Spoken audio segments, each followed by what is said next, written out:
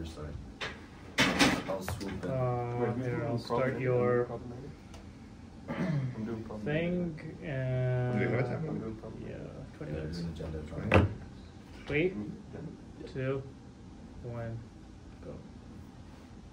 With 15 cities experiencing the best growth on the planet in Africa, um, I believe that it's crucial for Danone to uh, participate in expanding into this um, great territory to expand their sales, operations, revenues, and take advantage of this um, efficiency that they're having in this territory. Good evening, everyone. My name is Rudy Rodriguez, and these are my colleagues Simon and William.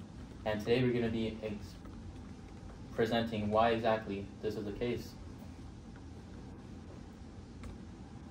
So the agenda for today consists of the problems and mandates, followed by the PESTLE analysis and options analysis, finalizing with the recommendation and implementation. Yeah, so to start things off, here is our the problems that we have identified in this case. The first one is that Danone is looking to expand their uh, company uh, on a greater scale. They're looking to go a bit more on the global side to the point where the global scale is their biggest uh, operating, uh, their biggest scale of operations. Uh, followed by the, look, the interest into expanding. Their main focus has been set on Africa. They recognize that Africa is one of the most probably growing continents in the world. Uh, several African countries show to have the highest population growth rates, and they really set in on Kenya as the primary target for this expansion. So the question that remains here is how should we expand it to Kenya? This brings us to our mandate, which is to determine which option is best to go with. Either the option to build uh, our own plant in the country or uh, outsource our supply from one of our existing plants and importing uh, the product into the country. So here we have our pestle analysis. First off, we will be looking at the political aspects of Kenya. Uh, first off, they are a democratic government, which is very similar to what we have here in our West, Western uh, civilization. Followed by uh, very high military tensions in Africa. As we know, they have many uh, military implications and many military conflicts within the, that continent, which could prove to be a problem for us down the line. Also, the health standards are not great in Kenya. That is recognizable by their health and sanitary uh, standards in their plants as well as uh, numerous of their buildings. Followed by the economic scale. Uh, so economically, there's a very large disparity that we have established in Kenya. This is a large di- disparity in the population wealth. So we recognize that there are people that, that are ultra rich in Kenya, as well as on the uh, complete other extremity that people are very poor. So this disparity is very big, and it's something that we also have to take into account. Next up, on the social aspect, we recognize that is, it is one of the highest population growth rates within Africa itself. And the key takeaway here is that there is a need for our products in Kenya. So to start it off, I'm going to talk a bit about option A. So just for a recap, uh, option A, uh, it's called Greenfield. It's to build a plant and establish a product distribution in Kenya. So, like I said, we have to build a plant in Kenya. Also, um, this would establish a 10% market share plus a 5% annual growth for the next five years and uh, capping at uh, 35% indefinitely. After that, uh, there unfortunately is a risk of being expropriated or the plants destroyed because Africa unfortunately isn't the safest of uh, the continents. Kenya has a couple problems like my um, colleague Simon talked a bit about. Uh, also, on a more positive note, uh, it's cheaper to uh, get the raw materials because it's locally purchased and we have our establishments here in, uh, in Kenya. Uh, with that said, there are also a lower logistic cost. So again, because the goods are produced locally. Um, in uh, another, you know, positive uh, remark, uh, there's also unfortunately a higher marketing cost. So the advertisement we'll have to advertise that there's also a locally produced.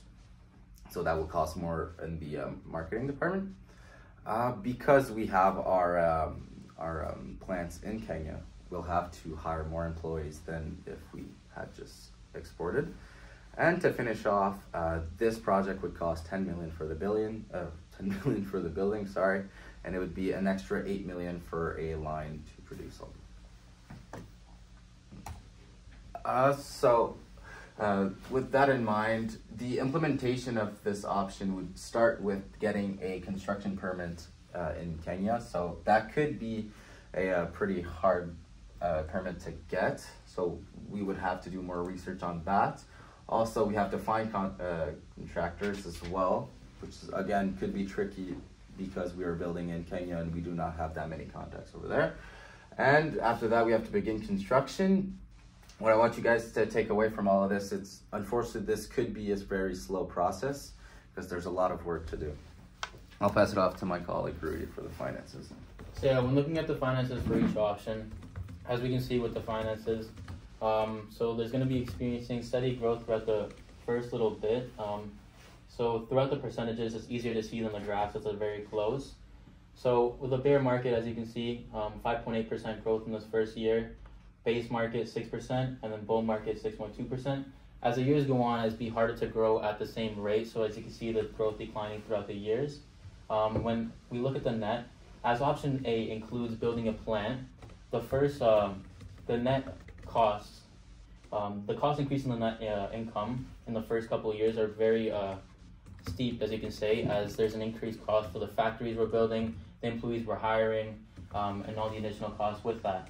But as we go on, um, the production costs become cheaper in mind, as we're going to be producing way more products. Thus, the costs for the materials used in these products, as we're going to be increasing the materials that we use, um, are going to be cheaper overall and uh, decrease in nature. So as you can see, the higher production capacity is definitely good for this option A, but then again, with the increased cost in the short run, it's not as efficient as if we to do the option B. Yeah, so option B uh, is now the one that we'll be looking at our, uh, looking at the overview for. So initially, we do notice that there is a pay of 10% of retail price for distribution. Additionally, there are more material costs involved with the option B. However, there are no industrial costs, meaning that we won't have to build a plant, and no physical location means no industri- industrial costs. There will be, however, higher transformation costs. Uh, however, also lower marketing costs. We don't have to advertise our products since it will be distri- distributed uh, or commercialized by uh, by the Kenyan distributors. Uh, there is also less employees, or in fact, no need of employees at all to run our building because there won't be one. And uh, we will also incur a four million dollars additional cost for the uh, in, for the upgrade of a line from an in, in existing uh, existing plant. So for the implementation of uh, the second option, uh, we've got we have to start off by um, distributing to the stores in Kenya. So that's going to be the biggest and the hardest part of that. We'll also have to get an upgrade on our existing lines that will cost four million dollars. It's a little less than the first uh, option, but it's still a lot of money. And uh, we have to find um, a way to transport products from neighboring countries. So we'll have to get contacts in different countries to try and figure out a way to give it to Kenya. Already. Now, when looking at the finances for option B, as I explained before, as we will not be producing the factory or needing to increase employees for this um, exact option, as we will use the employees already stationed in Kenya. Um, throughout the first years, our net incomes become closer to the gross uh, gross income of these uh, of this option. Um, but as the years go on, as we experience with the other option, the production increase, increase in materials, so thus we get cheaper costs for these materials um, as you can see, the key takeaway is cheaper. But when comparing these two in the payback period speculation, then um, it's easier to pay back option B as we will not be um, creating our own factory and increasing our employees working at these factories. We'll be using their factories and their employees. So the payback period for this option is definitely um, quicker than the other one. Uh, when looking at the NPVs, throughout the first couple years, the NPVs look very much similar, um, but then again, these option allows you to get an NPV uh, closer to the gross margin um, as a cause of not using the extra employees in the factories like I discussed. Uh, so it definitely has a better NPV in the short run, but in the long term, uh, with the increased production capacity as option A does have, uh, you'll look at NPVs greater in that sense as our material costs decrease with the production capacity increases. So, for the uh, recommendation, we think that the best option would be a mix of the two options. So in the more long term, in a couple years down the road when we're established, we think building a plant would be a very, very good idea. But to start off, we think option B, so exporting our goods would be the best opportunity for uh, Danone. Yeah, so of course, ESG is also a very big topic in today's age. We're always looking to be more environmentally friendly and trying to help uh, each other's societies as much as we can. And uh, referring to Mechnikov and Carasso's main objective uh, when uh, talking about the history of Danone is to improve people's health. And how can we do that in terms of Kenya's situation? Like mentioned, there's very uh, major health crisis in Kenya. The first one being that the mortality rate of 50% uh, for any children under the age of five as well as the life expectancy of 62 years, which compared to the global life expectancy isn't high at all. This is where we realize that there is a massive nutrition problem and overall a general health problem. So our initi initiatives would include two different ones. The first one would be a collaboration with Red Cross in, in order to increase medical attention in Kenya. That way we can try to get the medical attention that they need in order to, you know, really lower that mortality rate from children that are from one to five, which is completely inhumane. Next up, we have our initiative of 25% of our sales that, have, that incur in Kenya will go towards the construction of brand new water wells throughout Kenya's villages where they need it the most. So for the implementation of our plan, uh, that meaning that we want to get the plan B and the plan A. Uh, so starting off, like I said, we think exporting our goods is going to be the best way to go along with this in the medium term is when we'll start doing things to help Kenya as a country.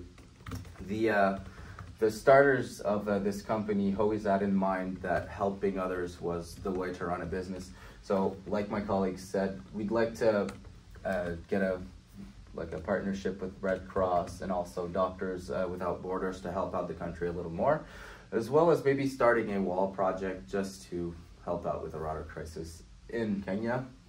And then the long term, like I said previously, we think that in the long run, when we're more established and we have a better cash flow, that building a plant is going to be easier for us because, like I said, we'll have a little more cash flow and that'll be a way smoother process than we started in 2015. So, for a recap, yeah. my uh, colleague Simon will give you the recap of the whole. So, to recapitulate, we starting from the top, we noticed that there are three major keys to be made. The first one being that there's a very low health standard in Kenya. The second, meaning that political standards are a, a bit uh, rigorous in terms of military conflicts. And the third being that there is, of course, a, a health crisis in terms of the children. Now, if we were to look at these uh, key takeaways, this is where you'd see that there is a certain uh, demand for our products in Kenya and why we should really be involved in that country per se. Now, when looking at the two options, obviously we know that each one has their pros and cons.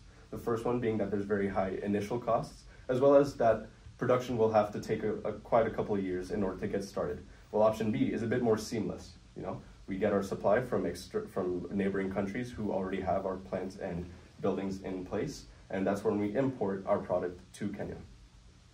That is why we believe that option B, you know, with oh, we can look at it from the other point. If we go with option A and we build a building, that's when we will notice that the military uh, conflicts will come into place and means our building will pretty much be unsafe in that country. We can't say for certain that it won't have to be destroyed for any reasons, right?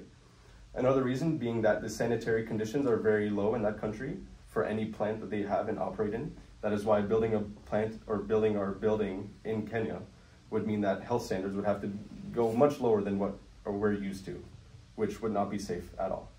That is why option B would be better for the short term, where we're going to bring our product from external neighboring countries and commercialize it through Kenyan distributors. Then on the longer term, that's when we're, we're planning, once we become more established in the Kenyan environment and the Kenyan society, that's when we're going to build our building and run operations on Kenyan soil. And yeah, with that said, thank you so much, guys. Uh, I hope you'll take our uh, recommendations at heart, and uh, thank you so much. If you have any questions, let us know. All right, thank you guys. No problem. What did I just? Fourteen minutes and thirty. Two minutes Did long. you get penalized for like under time?